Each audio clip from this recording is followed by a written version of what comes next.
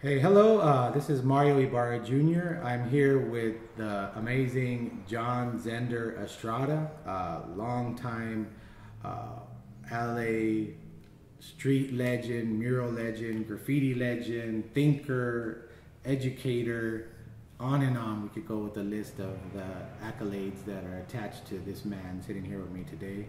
Uh, hey, John. Hey, Zender. How you doing? All righty. here. What's up? Uh, I got a, a, few questions for you uh, mm-hmm. that we could get into today. Uh, first, I wanted to ask you a little bit about uh, your history.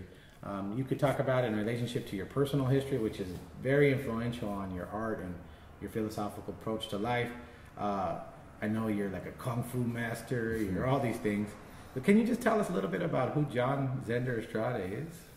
Uh, okay, without being a little too over redundant, you might want to catch the movie later on when I'm older.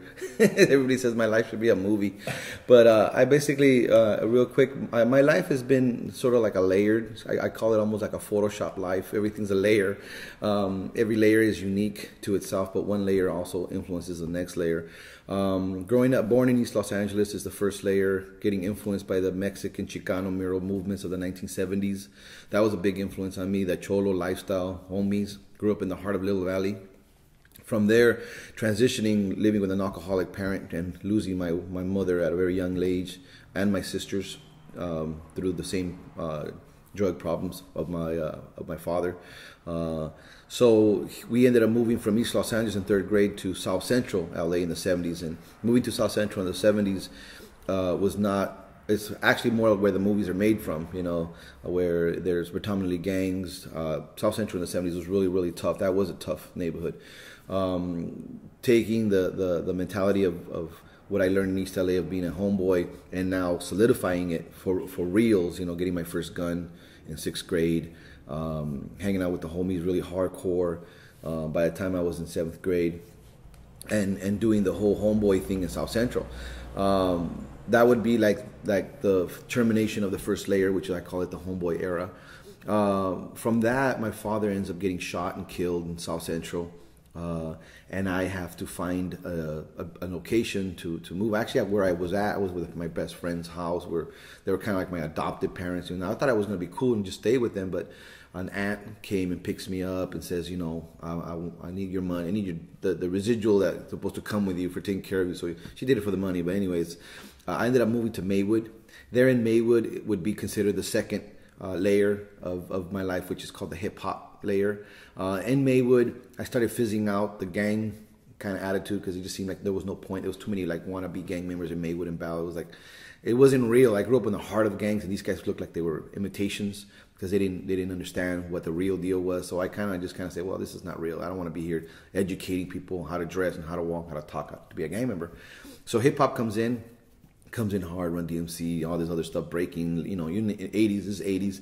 So I that totally. Um, uh, just completely uh, takes my attention because of the colors and the movement and how it just crosses cultures, crosses crosses ethnicity, and I became a breakdancer, became a rapper, what they call an all-around b-boy back in the days. Now it's all split up, but an all-around b-boy. What was your rapper name again? I was uh, I was Shaky D in the place to be, taking it to the TOP. You know what I'm saying?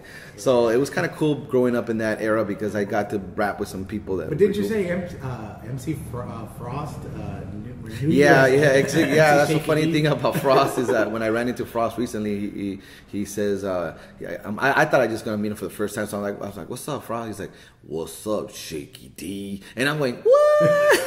I was like, what the? And he says, so he says, he says, I, I remember you, you were out there rapping in a Radiotron. I was that little kid checking you out. And I'm like, what? so that was actually really cool that anyone was paying attention.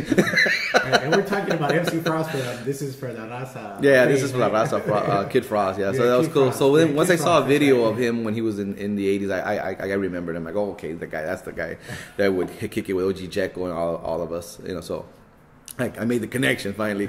so so the hip hop era took me took me pretty cool. But as as time goes on, uh, from high school, you you know you you have to do what you got to do as far as hip hop. You do your dance, you do your competitions, and I I didn't think like anything. You don't think it's gonna go anywhere. You think it's just a little cool little kid you know, marbles or something, you know. So I didn't pursue it. game, the new game. Yeah, the new game. So I didn't pursue it to the heart. I didn't want to be no no professional. dad. I didn't want to be crazy legs or anything like that. You know, I just wanted to you know battle just for the fun of it. But what did take my attention because I was already an artist was the graffiti aspect, Yeah. and the graffiti aspect kind of took its role through through the music video of. Uh, of uh, Buffalo Gals, Oh, yeah. you know where Dondi, Rock- I didn't, Rocksteady Park. yeah, the, uh, uh, Dondi's just rocking this huge production as as Malcolm McLaren's just you know going with his you know two Buffalo gals and and he's rocking this big piece. Yeah, and I'm looking at that going, wow, look at this guy rock that cam. You know, prior to that, I used to do blocks, lowrider, you know. 3D letters with old English script with Chicano font. I, I, you know, I did the whole cholo writing, so I didn't. Color was not even introduced. Yeah, all the, all the 45s in your house were messed up. Oh yeah, of course, yeah. All the album covers. Exactly. I have pure cholo writing on everything. You know how that goes.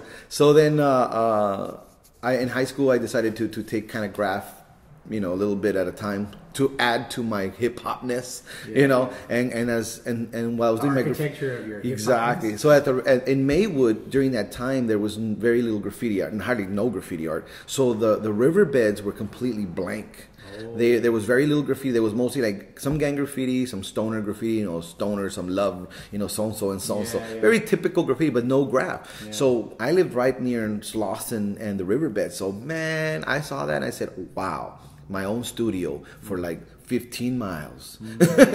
so I, I decided to use the riverbed as my background for just practice yard.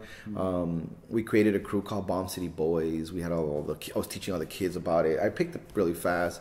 Uh, at the time, I was Graph, and then I mo- moved on to Phase 52. And Phase 52 was like my my street name. And when I went to the Radiotron for the first time, that's the name that I took to the Radiotron was Phase 52. Um, and that was my tagger, bomber, uh, bus bomber. A lot of people tell me, you know, hey, did Zender, Zender, did you ever do any illegal graffiti? And and with Zender, I didn't. So people say, so I, I can actually say, no, I didn't do no really legals with Zender. I'm being technical. But if you say, what about Phase 52? Oh, heck yeah, I'll burn it. You know what I mean? I, I, and that's the part that I, I keep it on the low, low now, and, you know, because I don't want to promote vandalism, you know. i rather promote the art world. So, but Phase 52 was the, the vandal part of me, you know. And that one came to a drastic end one day when I'm in Bell High School waiting for the bus to go to Verdugo, because I ended up going to Verdugo for getting into a fight in Bell. And I'm in the in the in the morning, you know, seven o'clock in the morning, waiting for the bus. And I said to myself, how can I get as famous as possible with these kids here in the school? And the only way I can think of is to go hard and go home. So I wanted to draw a huge Phase 52 right inside the principal's office in his wall. I said, oh, this is gonna make me famous. so I grab out my big fat uni. Big fat unis are like like a four inch marker, you know, wide, you know, pop start hitting a P, H, A, Z, E, five, two, and as I curve the two, whew, my arm just swings around because somebody grabbed it, and it's the principal with this look on his face that if he had laser beams in his eye, I would have been disintegrated. Oh my goodness. that guy was like, he was so mad there was no words coming out of his Yeah, mouth. yeah. And he looked at me and he said, You got two choices. Either you clean the entire school, including my wall, you know, paint over my wall, and, or we call the police department. And at the time, it wasn't really, graffiti wasn't as rough as it is today. I would have got a felony, life in prison probably today. with, today with today's standards, I would have been, yeah, I would have been a, a, a you know, uh, death row or something, you know. But, uh, but at the time, it wasn't, you know, it wasn't as, as crazy. Vandalism was still vandalism, you know, misdemeanor. So, so I cleaned up the school, but it, it really put, it really put a zap on me. To get busted that cold was almost like a warning for me. Like, what, what am I really trying to get, you know? So, so I, I, I pretty much dumped Phase 52. I said, okay, he had his run. Let's, let's give him. And I decided to create Yeah, he was the subject of after school. Exactly. Yeah, yeah. So I decided to create a name that I would be a little bit more creative with, and I chose Zender, which to me represents the rising mountain. And um, and actually decided not to really talk to too many people about my name. It wasn't like I didn't want to be like famous in that. I wanted to be more artistic. So even when I would do a Zender production somewhere, you know, I wouldn't tell nobody that was me, and I would hear people um, talk about me at, at these yards. You know, oh, yo, who's that dude Zender, man? I'd be like right next to him going, I don't know, dude, but he's pretty dope. and they're like, it wasn't until later on where everybody started exposing who they were in the 80s, you know, with K2S. like, And everybody, we all started meeting together that we began to sort of like connect with other writers. But still, the mainstream world was we we would consider it, you know, um, kind of like we wanted to keep anonymous, that and what they call anonymity, whatever, Anonymity. anonymity, yeah, Okay. yeah, exactly. we wanted to keep it uh, where the outside world does not know what's going on inside the graph world. Only those inside knew who Zender was. Only those inside knew who Crime or Prime or any of these guys were, and and and that's the way we wanted it. You know, that was the intent. Yeah, so like that a way, secret society. yeah, it was like a very secret, and that that was the intent. So that when you did a, a painting or, or a piece in the wall, no, you know, no one will really know right away where to go get you or, it was or like find the, you. it was like that long lost graffiti movie where that kid saw the cop kill the other kid and he did the Zor. I don't know. If it was yeah, I think that was a uh, Taki one. No, that was uh, Turk Turk one eighty two kind of thing. Was that? No, one? no, it was like another one with that kid that came from uh, Escape from Witch Mountain, and he was like a graffiti. De- he was like a graffiti artist, and he saw a cop kill a kid, and then he did like this piece of like the cop killing the kid. Oh wow, yeah, And, uh, it was one of these, one of the ones that came on like one time. yeah, probably. but uh, it was like, uh, but that, that that that notion of anonymity, like the Zorro-ness. of Yeah, it, like, exactly. you know, but like just getting out, getting getting in, doing what you had to do, getting out, and leaving that Z with the exactly, and that saber. and that was the actual most, in, for me at least, that was the most interesting part of graffiti. the covertness. Yes, the the the operation, the mission, the the uh, we're gonna do this beautiful piece, and people are gonna wake up in the morning and go, "What? Where did it come from? Who did it? What?" And no one knowing who, and everybody making up rumors, everybody making up stories. So that was the whole point. So so so that would be you know the second layer of my life, which is the graffiti you know world, and that was you know that opened up also doors to to uh, art school because you know at at at um, high school, you know, you, the more involved you are with art, the more involved you are with getting getting your academics straight, and that's a whole nother story of like going to an all white school where I was in Bal, and in Bal, my B's were pretty cool. When you get to an all white school, my B's turn into D's. Because the academic standards are a lot higher Yeah, for, the- the for curve is higher. yeah the curve is higher for white people over there because they, they you know over here they all Mexicans oh give them some break you know give them they can graduate without knowing their timetables it's all good man but so I learned to just jump on the game real quick and take take my academics a lot serious, especially um, if I wanted to get a free. I wanted to get a free ride to college. You know, I can't afford college, so Yeah. so I ended up getting you know scholarships for Otis, and and that was so close to the Radiotron, where it was in the Wilshire. You know, uh, Where exactly was Radiotron? Radiotron was actually right there on, on Sixth Street and, and a small little street. I remember the I don't remember. I think it was Parkview, but I'm not really sure the So name. was was- right there. Yeah, it was right there, right next to McManus But and Morgan. Now, now everybody called Koreatown. Yeah, yeah, like, I'm surprised. Yeah, Koreatown, MacArthur Park. It's a big city. Right, exactly. yeah, so so and Otis was right in front of MacArthur Park, so it's literally like walking distance. So I had already knew about Radiotron before I went to Otis. So when the time I got to Otis, uh, I would just walk to Radiotron on the weekends and kind of hang out and hang out with Carmelo and hang out with all these writer kids and and uh, and do a bunch of little projects. Yeah, can you can you explain a little bit because I don't know if everybody's gonna know what Radiotron exactly was. I know Carmelo Alvarez had started Radiotron. He also went on to form the Peace, what was it, Peace and Justice. Yeah, the Peace and Justice Center, And yeah. uh, the Radiotron was like the first version of that. And and and what came? What was it? What what, was- what was a typical visit to Radiotron? Radiotron, is, and if you, anybody does a little research, was was originally a, a club from, from New York. The New York uh, New York Cats came from New York, came to LA to establish some little uh, nighttime club, and it was called the Radio, not Tron, but just the Radio. Uh, they decided to uh, use that same scenario of the Radio Club to do. Um, like a documentary. I don't know if you, you you've seen the documentary. There's a documentary about Ice T and his and his and his educating the kids uh, with the radio.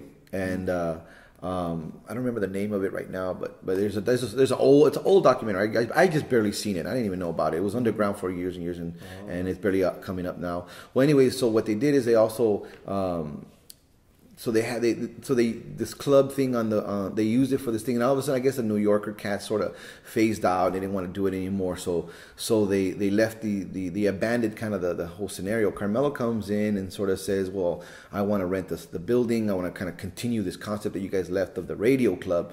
But I want to you know just so to to re-identify it from the radio he's going to now rename it the radio Radiotron so now it became the Radiotron which is try to he tried to maintain the same um, vibe that the club, the radio did, you know, by bringing more LA based artists, you know. Uh, I don't know if you guys know, but uh, Ice T was from New York. Uh, a lot of people think he's or OG from LA, but no, he's from New York. He was, you know, came from New York. Uh, and a lot of the writers, even the graffiti writers that were painting at the Radiotron at the time were from New York, which is uh, Soon and Legit, uh, and they they began to establish sort of like the, the standard of graffiti, Soon and Legit, and and the rappers. Uh, that were coming through the Radiotron were also setting the standards. People like the, the Air Force crew setting this. So people that were really high skilled were already setting the standard in the club of the Radiotron. So mm-hmm. when you were a kid and you came into the Radiotron trying to perfect your skills, you got to sort of challenge yourself to see this is where the peak is. This is where the the the, the, the professional, yeah, the bar is. So if you wanted to be good, you had to be better, and the only way to get better was to compete. So a lot of kids would compete at the Radiotron for breaking, for popping, for rapping. There were battles. Um, there was graffiti battles outside of the walls in the alleys. So so that was the the interesting thing. I think that was probably the most um, influential part of the Radiotron is that it became the the uh, the mecca for hip hop. It was also like the competitive arena. The competitive arena. It became the gladiator school of hip hop, or boxing yeah, the boxing ring too. That you know, I know for us as writers, we had to recreate uh, our style in, in, in, street art because soon and legit, a bunch of other New York cats that would show up really had already a way a, a, a heads up on us. They had a an advantage because they already had years of, of doing that. We were just trying to start it. But I think we held our, our ground pretty good by introducing the whole Chicano flavor and gothic letters and you know mm-hmm. the and imagery and more artistic element rather than just words. Mm-hmm. and i think that set us apart in the end. Mm-hmm. but that that was the radiotron. And i think uh, little caesar eventually took over uh, the rights to the radiotron and he does a breakdance competition now every year. From what i heard like um, what are we like 2013 i think this is the 30 this is the 30 year anniversary of the radio and they're going to do an event at macarthur park soon i think in a couple months. so it's going to be pretty big but through, through all these different layers that you're calling them, these Photoshop layers, the the early kind of East LA, South Central, moving further like east, southeast, uh, crossing the LA River again. You were just going back and forth over the river. It seems, uh, and those these kind of phases, seeing the seeing the river bed as being your canvas. Uh, all these things were also kind of a kind of development or or stratas and layers of like a street aesthetic or approaches, right? Like the idea of cholo and the kind of aesthetics that were involved in the dress and the writing, etc. Then into hip hop with the aestheticization of kind of New York influence, uh, and these things kind of building up uh, and making the layer that is now like what we're looking at, a kind of image of these kind of layers. Uh, or flat. Let's flatten the image for yeah. a minute and see like where what what what were or how influential were these kind of street aesthetic sensibilities and then how did you filter them through an art school experience? Because that's pretty heavy these aesthetic positions that you're taking and, and following and then going through art school with them how, how did that filter through yeah, through art school? That's a really good question because uh, every every art form, whether it's cholo, I mean, every everything that happens to young people. Some people don't understand it because they're not artists, so they don't interpret things from an aesthetic perspective. A lot of people just interpret things from a from a cycle cycle, you know, mental. Um, um, you know, personality, emotional. A lot of people who are not artists, they can't translate the information that the experiences they're going through uh, any other way except psychological, emotional distress. You know, whether it's you know baggage or I ended up like feelings. Yeah, everything's feelings. For me, it wasn't as much feelings because it was more. Uh, I'm an artist, so I would have to take the the influences of each layer, and then sort of figure out why is it is why is that visual so important like for example if you were a cholo why was the dress so important i was really concerned with the dress yeah. to the point where when i was a cholo in south central i didn't have the mindset of a cholo i didn't want to walk around thinking i was dope i didn't want to walk around with a gun and say where you from mister just for the fun of it i used to call it a costume it was like being on stage. It was like zoot suit for me. Mm-hmm. When I put on the shoes and the Pendleton and the hat and the and the and the style, órale, patos, qué tal, calmantes montes, chicas patas ese. You know, I was on stage. I was on stage. Yeah, it was like a, a rope. girls would, yeah, exactly. So that was the art form of it, and girls would just kind of draw to that. You know, I would walk with a cane What's up with your leg? Nothing. It just looks bad, eh? yeah, yeah. And then like the Dapper Don. Exactly, and then and the hip hop had its own genre, man, with the with the crazy pants and the berets and the and the spike. This is pre, yeah, you know, you know, hip b boy. This is b boy yeah, from early '80s. This is not. Flash. Yeah, this is Grandmaster Flash, Afrika Bambaataa influence. Yeah, you know, it was wild. Bondage. Exactly. The more wild you looked when you danced or pop, the the more dramatics you put in. So I had, you know, the banzai bandana and I had the banzai bandanas on my, I mean, all the colors of the rainbow on one leg of bandanas. People, I, am glad nobody took pictures. they would have been blackmailing me all this time. yeah, you have like the Fred rerun Berry. Exactly, and, and so so all that visuals were very very interesting to me. And when graffiti, obviously graffiti graffiti with the colors that they have can actually take that to the next level of taking all the genres and creating something tangible as a work of art. And then going into art school with that mindset,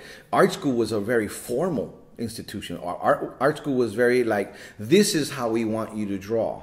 We don't want you to, you know, and it was very difficult because I still wanted to do graffiti.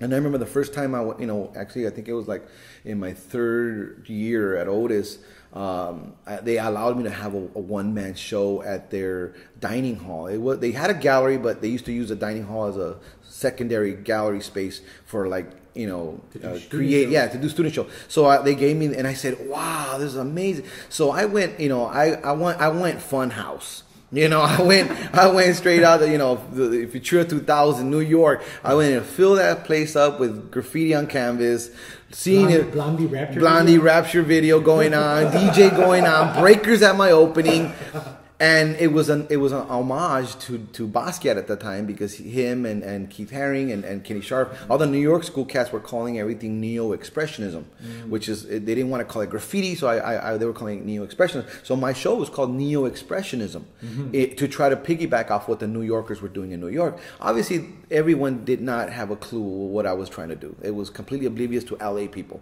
Um, no one from the art world showed up. No one from Otis showed up.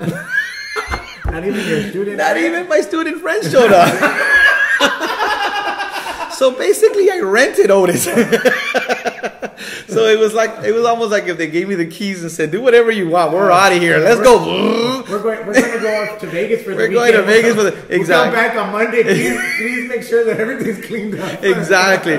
So I mean, because they allowed me, because no one was there from the staff, we went buck. We painted on the walls. Oh, we did graffiti because as long as they said you can paint on the wall as long as you paint it back. Yeah. So we rocked the production on the wall. I did this one eye monster. You know that that eyeball from from uh, that that famous the Von Dutch one. Yeah, Von, yeah, exactly. Yeah. I did the Von Dutch with the with the with the claws. It was dope, man. For 1988, it was sick, you know. And all the it was a b boy. It was like a radiotron party, dude. Yeah, but it was yeah. it was supposed to be an art thing, and I thought, you know, yeah, you know, that art, how art was. Because that's art, what, art for you wasn't separate from culture. Exactly, and I also had seen so much of the of the influence of New York that I really wanted to experience it. Okay, Zender, we're talking about a time that is pre-internet. We're talking about a time yes. that is pre-magazine. Yep. Uh, with the how are you seeing this information? How are you looking at what was happening? How do you know that these artists from such and such were calling things neo-expressionism? Expressionism.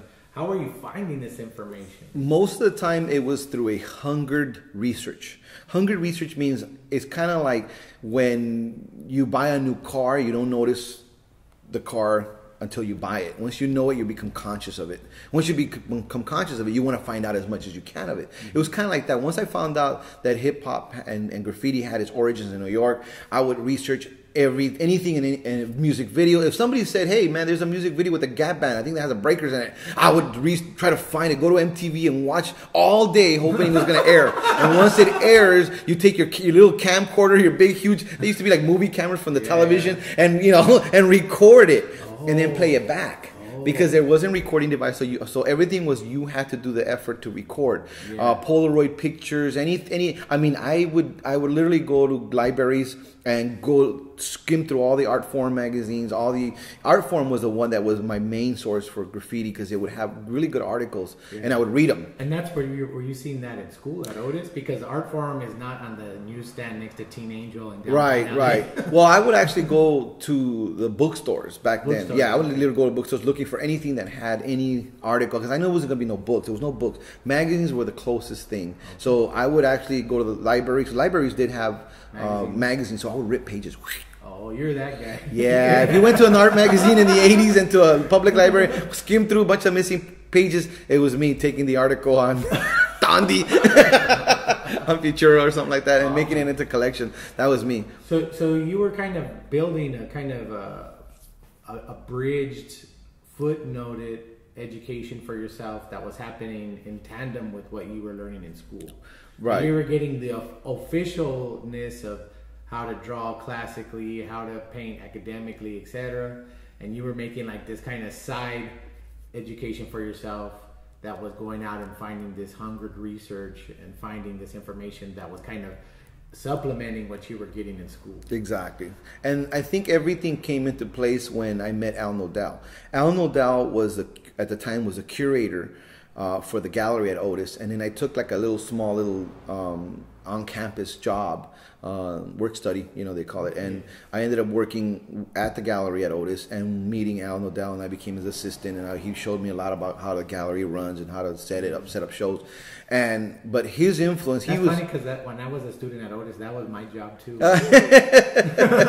so at the time they. Uh, uh, Al Nodal um, was on his way to politics. He, I didn't know that at the time. Yeah. I just thought he was just a guy that was really, you know, a go-getter. But he was already in, in his way to, to, to create a future in politics for himself, and I didn't know that. So what he was trying to do is he was pushing the concept of art in the park.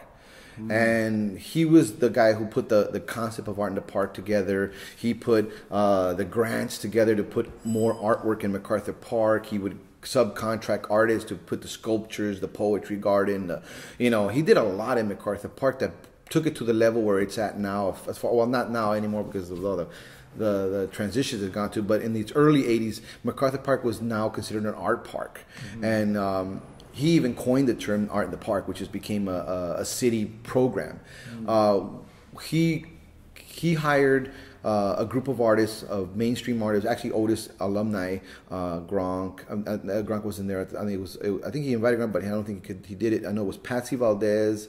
Uh, was the one that um, took lead on a project at the park, and through through Patsy uh, and the Radiotron, he connected with like a handful of artists, of graffiti artists, to do the the very first. I mean, I'm gonna say it's probably like our very first commissioned piece for us as street artists, mm-hmm. which was the the band shell.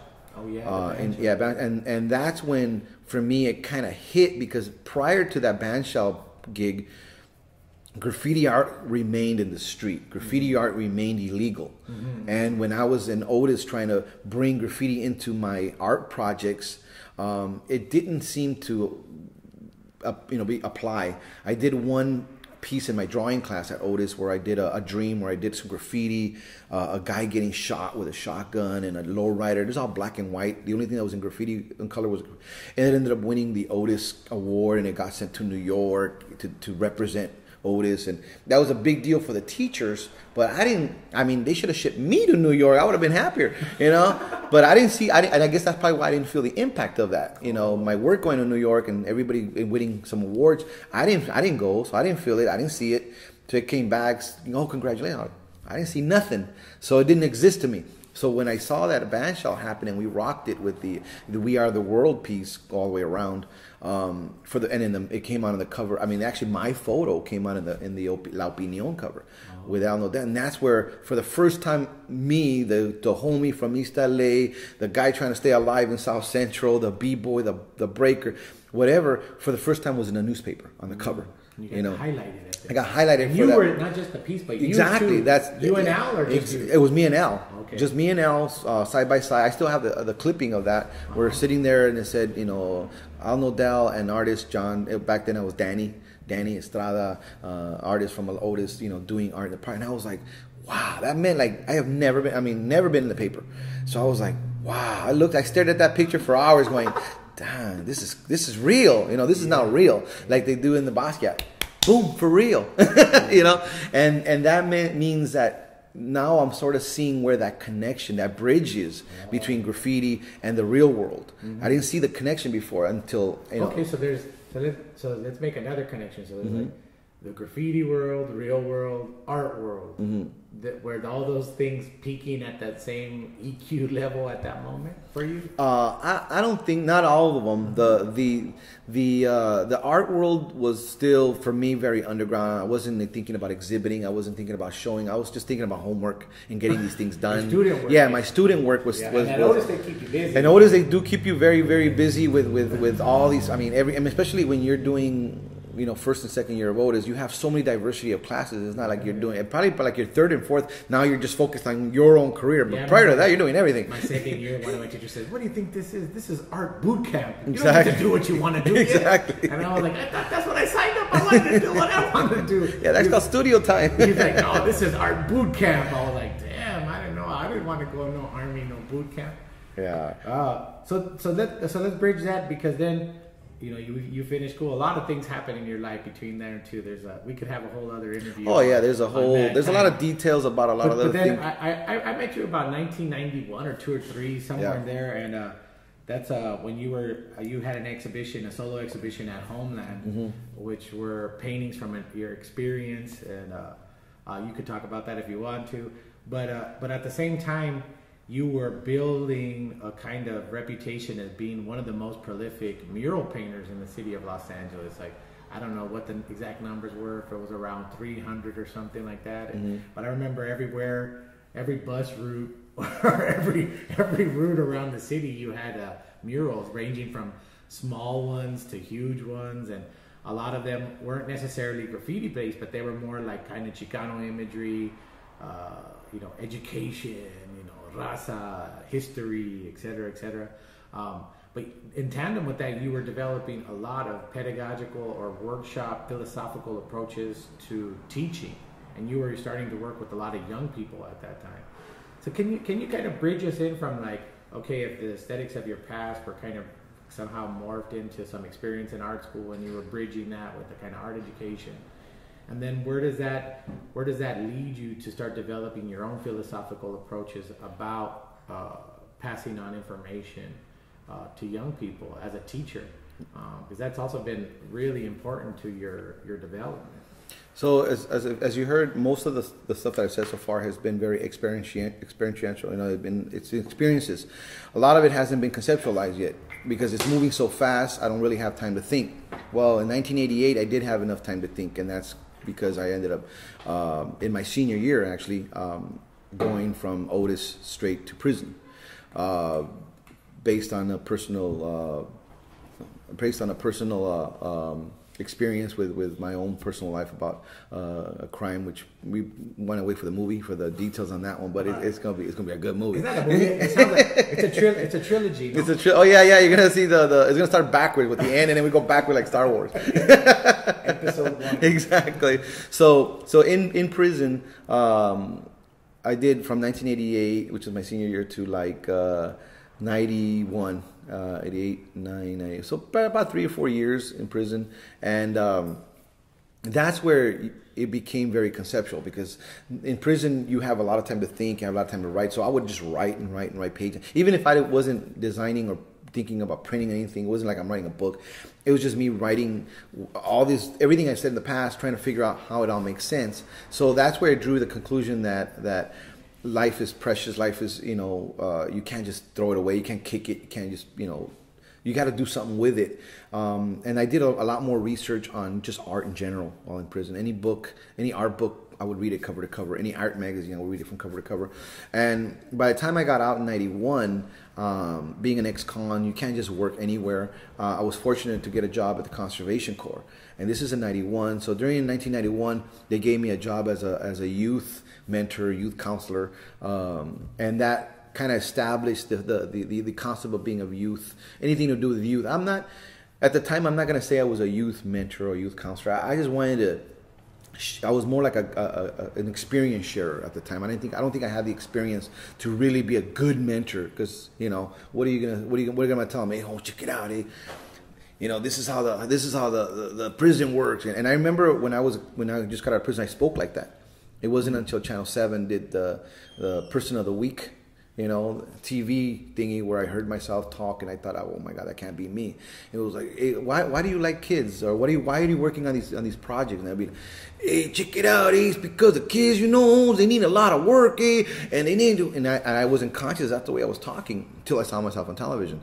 And so I said, dang, I got to make an effort to even change that because I know that that's not who I am. That's what I've become subconsciously in prison because I didn't even notice. It was like, going to England and coming back with an English accent. You know, you don't recognize you have until it's too late. Well, that's that's right. That's, right. like when I went to Texas, I came back calling everybody y'all. Yeah, y'all. You Oh, know, yeah, y'all. months, and I came back, hey y'all, let's go eat. And like, they're like y'all.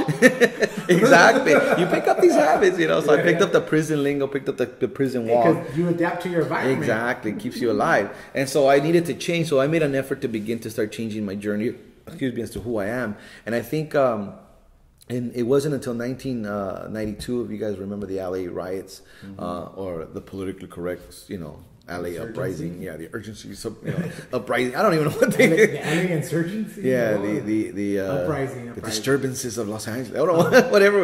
It was a straight out riot, man. It was like weehaw.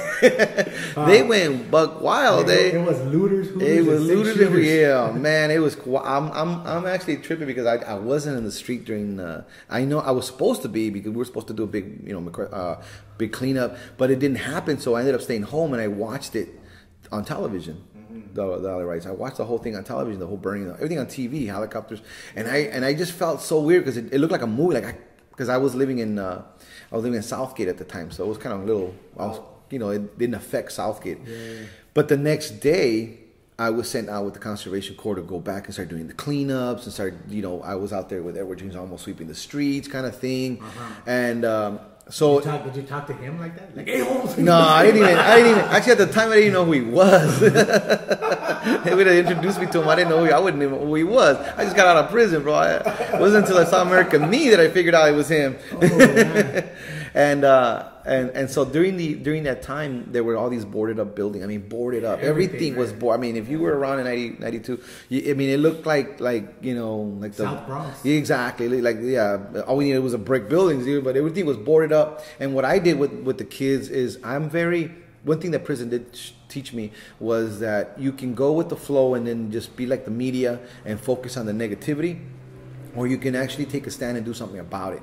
And so we created a, a little group, little art group with our kids called Creative Solutions. Mm. And that's what we would write, Creative Solutions. And our objective was to teach the kids how to create imagery that countered or or or allowed a, a a creative solution to what was going on in the city. Mm-hmm. So the kids, I mean, when you talk to kids and you and they're growing up in the media of Los Angeles or the media of LA, and you tell them, you know, let's let's create a campaign for anti-drug campaign. They will just do the obvious you know a gun with a circle and you know pills with a circle and a egg you know a guy getting loaded and and, and a death. They always will draw to the negativity aspect. No matter what problem you give them they will, will they'll try to pull out the problem that's the obvious because that's the media But that's not the solution. that's not the solution. That's the problem. That's the problem. So most kids, young kids, think that that's how you solve is addressing the problem head on, and you know, throw pull out the realities of the. Pro- no, no, that is already evident. It's the solution that we're looking for, and that's the one that's the hardest to come up with. Mm-hmm. It's like a scientist coming out with a cure of cancer. You know, we already know what cancer does. We already know the effects. Yeah, we already- yeah. You're looking for the Where's the cure? And and and to find the cure, factor. yeah, is the hardest thing, especially for a kid or for a young person to develop. So that was my objective with these kids. Mm-hmm. I want if they if they came to me with an idea, with a picture or a concept, it had to be a solution. It was if it was another problem, I would just literally tell them, "Go away." Go away. And then so the kids were challenged to be in my group, and they were completely challenged. So when we started putting the billboard imagery, we did images of images of hope, images of of a Korean and an African American shaking hands. We would do a, a, a field of crop where a Koreans on one side and an Africans American growing vegetables together. You know, we were like, that's just throwing out possibilities. Possibilities of, of yeah. a community garden and, yeah. and in, in Koreatown slash MacArthur Park. you know, and this is '92 before those things even existed. Yeah, so so media picked up on it, and once the media picked up on it, they were like, you know, magazine article after article after article during that time of how we were doing this. Mm-hmm. Um, they were interviewing the kids. We had TV. That's where the Channel Seven thing kicks in with the Person of the Week. Um, so definitely that idea of producing as much artwork and as a, in, a, in a short amount of pos- uh, time as possible is the seed to my mural concept, to my mural programming. Okay. Because I was now in the in ninth, all from 1992, 93, and 94. Those three years, I was I maintained that group called Creative Solutions, just doing nothing but community projects, murals. Anytime we had a vandalism problem, where because I used to do graffiti removal for the city of, of with the MacArthur um, Conservation Corps, I was noticing that they were measuring the square footage and submitting documents and I know Conservation Corps is going to hate me for saying this because I'm exposing stuff here now. I'm the whistleblower here, okay? So check this out. They were getting money for square footage of how much graffiti removed. Buff zones. Buff, yeah. They were saying. They're buff marks. They're getting square footage for buff marks. They were money, saying. Money, exactly. They said the grants were like this. They said submit the square footage of how much graffiti removal you do a week, a month, a year. And the numbers were exaggerated. I mean, they were extreme. Why? Because if you take a community like South Central and you send out a crew, you're literally removing the graffiti every single day at the exact same locations. Yeah. That's not turf. That yeah, that is not really graffiti removal in the numbers. That's just the same. It's like how many how many you know how many uh, tons of poop does the American public flush out? You know, well, it could go in the thousands because it's the same. You gotta do what you gotta do. You know what I mean? So so at the same time, uh, um, how would I say, um, the the numbers were, were not adding up in my in my game. Yeah, yeah. So I said we got to create a solution again. This is not a, so I decided to take my crew and say what is the root of the problem of graffiti? Gang taggers, mobbers, you know, B4s, whatever. So I took a small area in the Hooper district and said, I'm going to mo- monitor the CIA, graffiti. Yeah, I'm going to do an intel thingy and document this saying, this is how much vandalism and how much graffiti is occurring during this month. What we're going to do is we're going to target the area by hiring the guys who do it. So I went deep undercover. Yo, what up, man? I'm Zender One. You want to know who's who's you know who's here? Because I know who the names were. It was mostly the guys from NTS. You know, so we hired them. We joined in the crew. We had some guys from from the Primera, some guys from 38, some guys from you know 20, whatever neighborhoods were out there. And I would seek them out, the young kids, and hire them in my crew. And then they would be the ones that would paint the murals. Mm. Lo and behold, several months later, graffiti at that in that area was reduced by 80 percent. 80% reduction. So that was a solution. That was a solution. I said, wow, if we address the, the, the, cause of it, you know, if we get to the root of it, which are the kids and why are they doing it, you know, we have a better chance of eliminate the concept of graffiti, mm-hmm. you know, at least that kind of graffiti, you know, because yeah. we can always get into the you know the artwork type. And that's yeah. a whole other ballgame. We're talking, we're talking gang. Graffiti, yeah, gang, crossing, yeah. mobbing, tagging, and I took those findings and took it to, to the conservation corps and said, hey man, check this out. You know what I found out? I found the that broken window policy. Exactly, and what ended up they they said literally they said, ah, well we'll take care of that. We don't want this kind of information to be, you know, out in the opening because. Mm-hmm they won't get no money. Yeah, yeah. that's that's the whole reality of nonprofits. Yeah, they're, they're just, mostly they're just maintenance. Exactly. It's, like, it's like you, we, we, we don't want to solve the, the, the street you know cleanup because then the street cleaners are out of business. We don't want to solve the the, the, the, the, this this illness because then pharmaceuticals are out of business. So I, I took it like that, and I, and that's where I became kind of like very. I started having a different attitude towards graffiti removal. I didn't even think graffiti removal was was a valid thing. I mean, you're gonna buff out graffiti. Why? What do I? What do I am? You know, uh, you know, bu- paint buffer. What the hey? I'm a sanitation here. What the? Yeah, no, it's like a maintenance street. Yeah, so I, I really decided to, to take it to the next level. So we just started taking the, the, the murals to a whole new level Yeah. uh, with the kids, with the with, with the, the programming, uh, uh, partnering with foundations, partnering with people with an educational component to it. Yeah. Um, we started doing stuff for the uh, Cesar Chavez Foundation, where the street was renamed to Cesar Chavez. You ask the average person, "Oh, they renamed the street to Cesar Chavez." They, "Oh yeah, the boxer. Yeah, I remember that guy. He had a good right hook." And we're like, "No, no, no, no. Cesar Chavez was a community. They didn't know who he was." Yeah. So I decided Julio. exactly. So I, I took my students and we decided to do a huge campaign to educate the people as to who was Cesar Chavez and in, on the wall because we found out that murals was the quickest way to send out information to a large amount of people in the shortest amount of time. Well, that's what the church used paintings for. And the Exactly, and exactly. Uh, yeah. So okay. So I'm, I'm now kind of making. There's there's always been ever since I've known you now. It's been going about 20 years or so. You've always had this kind of entrepreneurial uh, business approach to what you were doing. Creative Solutions was like a kind of business, nonprofit, or I I don't know exactly what that was, but it was a kind of business for you. You used a business model to kind of pursue that, and uh, and you used like a kind of contractual model to get jobs, and you were talking about uh, hiring these young people as kind of employees to help you. So you've always kind of pursued a kind of business model in the different ventures that you had artistically or through education. That that uh, it was also another kind of a way that you were solving problems or, or finding solutions. Um, can, and, and you and you've had different little shops and art supply stores and you've done all kinds of different things since I've known you and this, from silk screen and all kinds of stuff that you've done. Um, but where, where does that kind of drive for the hustle uh, come from, and wh- why is it so integral? Because it could be just you could have just took a route and just said, "Oh, I'm going to get a job," right? Like get a job, and I'm going to work for somebody. Either you could have been teaching, painting, any any of the skill sets that you have. Uh, you you even gone into like places where you've like gone into other kinds of fields where I didn't even know if you were coming back to the art to do art. I was like, well, this guy's going into some other kind of Real bus- estate, life insurance. like, I don't even know where he's going with this. Uh, but I, I- I've always seen you kind of come back with uh, bits of information that have served you again in art. Like you kind of go on these kind of side adventures to just pull out more techniques that you bring back to your art business plate. Uh, can you talk about that, being an entrepreneur, and how how that really is uh, just so vital to your practice as an artist? Uh, for me, the, the entrepreneurial part was not a choice. It was actually survival. Um, we were talking recently about LA Conservation Corps and all the stuff that I did with them and all the murals. And I actually, uh, because of some insurance uh, difficulties and stuff like that, they couldn't continue to insure me as a driver. So I, uh, so they had to let me go. When they let me go, I had the typical nine to five lifestyle. My, I had the my house rent, I had my, my you know all the bills and all the payment, whatever. So I had nothing to really fall back on. I didn't prepare for, you know, you think you got a job, you're gonna stay there forever, no matter what happens, you know. But once they let me go, I panicked, literally, uh, like most people would. Okay, how am I gonna do this? What am I gonna do now?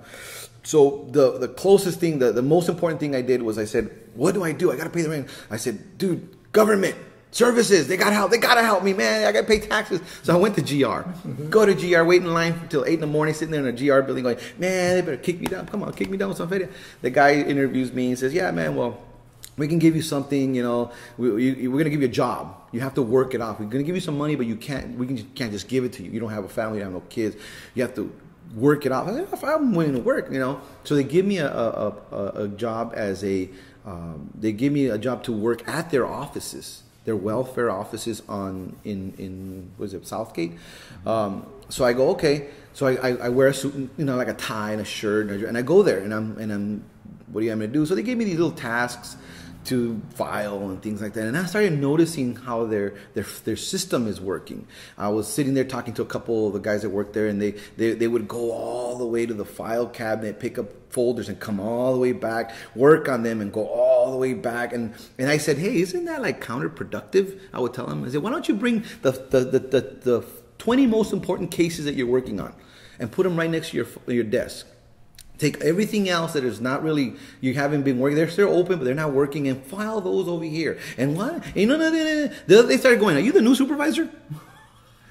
And I started going, excuse me, are you the new supervisor? Because we're supposed to be getting one, and you're changing the system. You're they, they, didn't even have their files in alphabetical order, bro. So I was like, bro, would it be better if you're looking for a file to go from A to Z? Come on, bro. and they and then and everyone thought I was the new supervisor. And until the until I said, no, I'm here on GR, they looked at me and literally fell off their chair. They said, dude, you're the best guy we've had as an employee, even in employees. What are you doing here? And that kicked me like if somebody kicked me in the face. And I said, I don't know. I'm just trying to get some. So I because go. you're used to solving. I'm used to solving problems. You're used to, to finding solutions. You're used to going Exactly. using your imagination. Exactly. So when they told me this, I said, "Oh man." So I said, so I went back to the to the GR and said, "Man, they better man. Now I organize these guys. I got them working. You know, they better kick me down with some cool feria. You know." So I go back to the GR and get my check. I go, "Hey, I haven't got my check in the mail." And they're like, "Well, we don't send checks in the mail anymore." And I was like, "What? No, you got to go through through through Nix check cashing and give them this, and you got to give them your ID, and they swipe your." I'm like, "What?" So I go Nix cashing, swipe my ID, and for one month of work, they kicked me down with 120 dollars. Wow. Dude, now I the first time I got hit kicked in the head, now I got kicked in the stomach. While you were down. While I was down, my rent was like seven hundred dollars that for that month, and then one hundred and fifty dollars. I was like, "You got to be kidding! Is there? Excuse me, some mistake? Is there a mistake? Security, security." No, there's a Tapping on the mistake. I work for a month. Banging on the plexiglass. They're trying to rob me. So I went back to the GR and waited another full day. Every time you wait for the GR, it's a full day of, of waiting. And I said, "Excuse me, you guys made some mistake. The only guys gave me 120." They said, "No, because you don't have a family, you don't have kids, you're on your own. We can only give you 120 dollars a month of full work." I was like, "That's crazy." So that was an eye opener. That was an awakening, and I and I and I felt like this voice, as if God was telling me, "I created you for greatness." You know, why are you sitting there in GR waiting for someone to, yeah, somebody to give you a crumb, you know? And I'd done all these murals already with all the kids, and I said, well, I'm gonna just, I'm gonna go back to painting murals. I'll figure this one out. And that's where the business began.